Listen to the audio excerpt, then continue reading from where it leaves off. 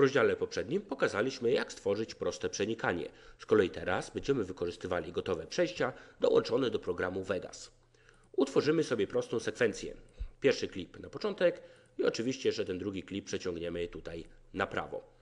Na początku może stwórzmy sobie proste przenikanie, wykorzystując znaną nam już metodę z poprzedniego rozdziału, a więc zaznaczamy klip po prawej i oczywiście przeciągamy go na lewo.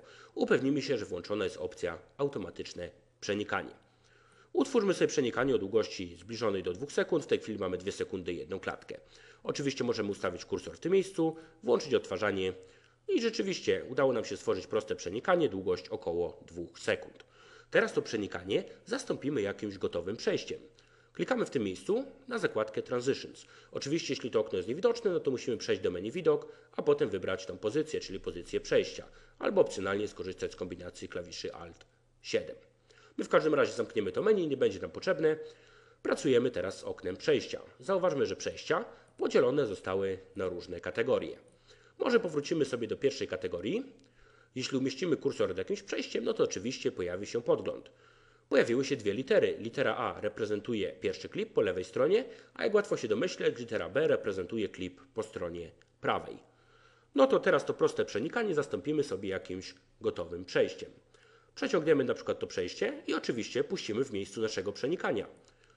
Pojawiło się okno z opcjami, my to okno na tej chwili zamkniemy, klikamy w prawym górnym rogu, no i rzeczywiście zamiast przenikania wstawiliśmy pierwsze przejście. No to włączmy sobie jeszcze raz odtwarzanie. I tak właśnie wygląda to przejście, które przed chwilą wstawiliśmy. No to teraz to przejście spróbujmy sobie zmodyfikować. Na początku utworzyliśmy przenikanie i długość przejścia regulujemy tak samo jak długość przenikania, czyli po prostu łapiemy klip po prawej i przeciągamy. W tej chwili skróciliśmy nasze przejście do 1 sekundy.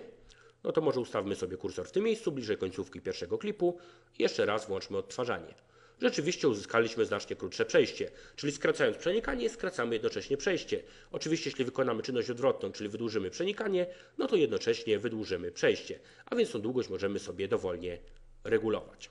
Może powiększmy sobie widok w tym miejscu. Tutaj pojawiła się nazwa naszego przejścia.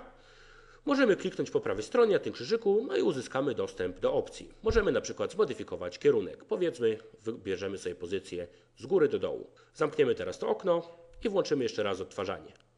Rzeczywiście teraz mamy zupełnie inny kierunek tego samego przejścia. Jeśli przejście chcemy zlikwidować, no to musimy zlikwidować nasze przenikanie, czyli łapiemy klip po prawej, przeciągamy go na prawo, tak żeby przenikanie zlikwidować i w ten sposób jednocześnie zlikwidujemy przejście.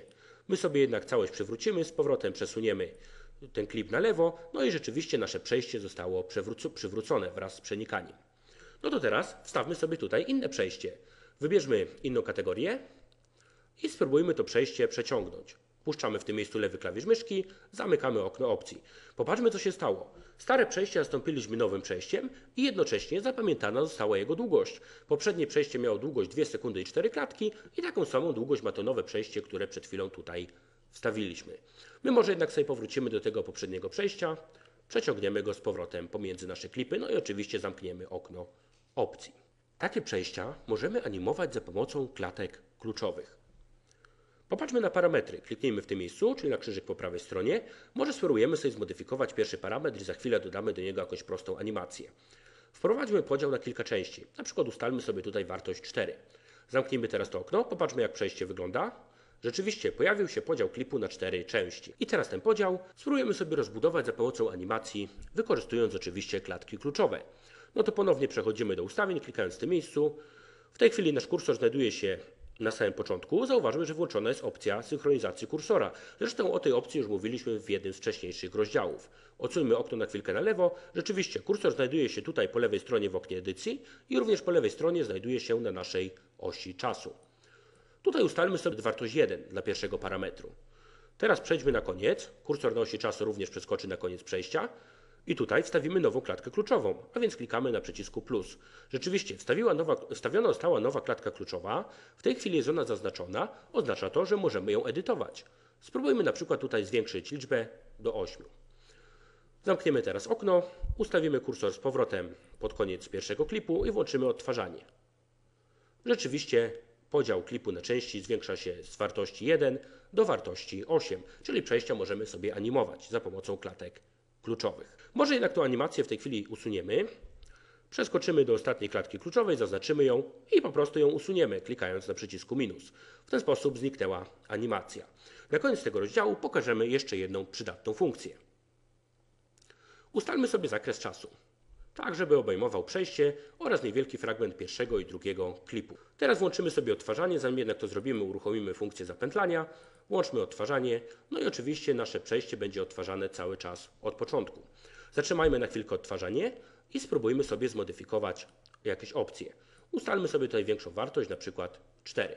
Zamkniemy okno, włączmy odtwarzanie. No i rzeczywiście, opcje zostały zmodyfikowane. Jednak te opcje możemy modyfikować w czasie rzeczywistym. Nie musimy wyłączać za każdym razem podglądu.